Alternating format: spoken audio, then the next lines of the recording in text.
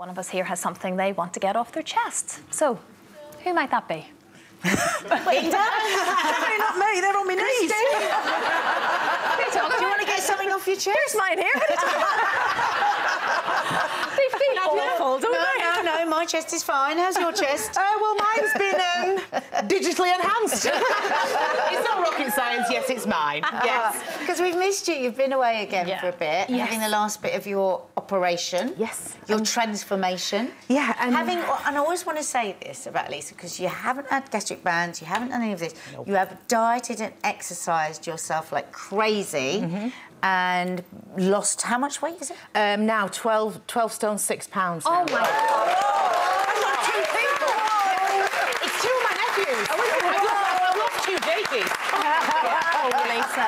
That is just incredible. I know. I- and you've been you've been flashing at us this morning. haven't we? Let's, let's We've get seen it. them, and they look seen it. amazing. They What- absolutely look amazing. And they're still a little bit swollen, so they're bigger than they're going to be. But literally, there's, I, I don't have any implants. This is all completely They're completely all me. yours, and you don't It's- mind me. I've had a little feel. She said it's all right because it's all her there, and they feel Yes. fantastic. So They do. firm. I'm They so are. jealous. I know, I know. And the weirdest thing was after my operation, I uh, you're not allowed because of the wounding and, and of course all the bandages. You're not allowed to have a shower for 11 days. Oh, God, oh, help yeah. ya. I know. So literally all my life, 39 you know years and growing up and stuff, and literally I get in the shower and I'm washing, thinking, oh heaven, heaven, and I'm like, there's not. I've got nothing to lift up.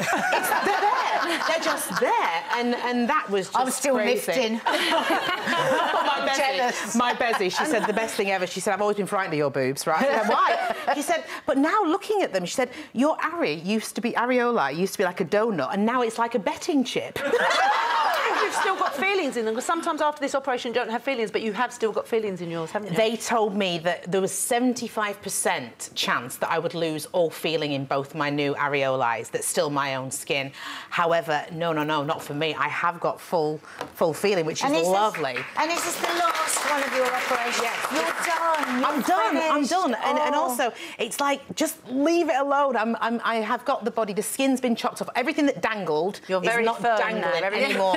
firm. yeah, yeah. And you know, yes, this is my chin. I don't care. It's- Oh, I don't care. It's just like yeah. leave it alone. Yeah. People are You worried know. that you're addicted to surgery, but you're not, are you? No, And all it's done just now. You're happy with what baloney, you yeah. absolute utter baloney. I'm not addicted to surgery. What I said was I can see how accessible it is. Yes. but that's not for me. It's not. It's not my yellow brick road. You're, I'm, just, you're walking for fun every day now, Yeah. aren't you? Just mi- put miles Uh, in every 14 day, miles, isn't it? exercise-wise. Yeah, yeah, I do. I, do. I love because it, it has been a thing where you know, obviously with with my surgery, I haven't been able to go to the gym and stuff, but I, I'm allowed to walk, and you know, I'm just praying for the day now I can get back in the gym, boxercise, you know, bit of uh, Is it- yeah, 'cause bit of zumba with no jiggling. Yeah, 'cause it's hard. Having lost a lot of weight myself in the past, it is it is really hard. It's really easy to get to get paranoid when you're eating and you're not not able to exercise. It's a nightmare. It isn't is, it is, and you, you've got to you've got to keep talking to yourself and going, it's fine, it's fine, it's fine. You know, I'm never going to be that girl anymore. Yeah, Great. You're You're a great. brilliant actress. Wait Lisa, thank you so much.